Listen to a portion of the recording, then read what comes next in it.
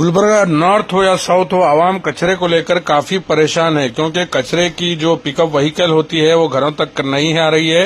तीन दिन, चार दिन में एक बार आ रही है। उसकी रीजन हम आपको बताते हैं महानगर पालिका के जो पौर कार्मिक्स हैं, जो सफ़ाई करने वाले वर्कर्स हैं, उन्होंने स्ट्राइक का ऐलान कर दिया है। महानगर पालिका के सभी पौर कार्मिक्स, पाँच दिन से ज़्यादा का वक्त हो चुका है डीसी ऑफ़िस के सामने।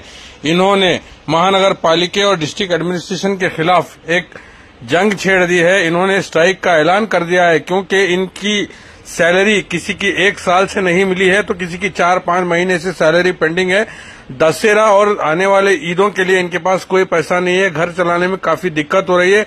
इसी को लेकर इनके इंसाफ के लिए लड़ते हुए एहतजाज को सपोर्ट करने के लिए सीपीआईएम के लीडर के नीला मैडम और उनके एंटायर टीम ने इनके सपोर्ट का ऐलान करते हुए महानगर पालिका के ऑफिशियल से डिमांड रखी है कि अगर इनका जो भी इश्यू है रिजॉल्व नहीं होगा तो ये स्ट्राइक इसी तरह कंटिन्यू रहेगी। कारपोरेशन के ऑफिसर्स ने भी यहाँ आकर उन्हें आश्वासन दिलाया कि जो भी उनके इश्यूज़ है, उसे रिजॉल्व होंगे। मगर मीडिया से बात करते हुए के नीला मैडम ने कहा कि कॉरपोरेशन में इनकी सैलरी का इश्यू अभी तक रिजॉल्व नहीं हो रहा है और ये ऐसे ही चलता रहेगा। और कई एम्प्लॉयज़ को परमानेंट होने का ऑर्डर भी आने के बाद में इन्हें परमानेंट ऑर्डर इश्यू नहीं किया जा रहा है। इनके डिमांड है कि एक दो को नहीं या पच्चीस तीस को नहीं, सभी कॉरपोरेशन के पौर कार्मिक्स को परमानेंट का ऑर्डर देना चाहिए।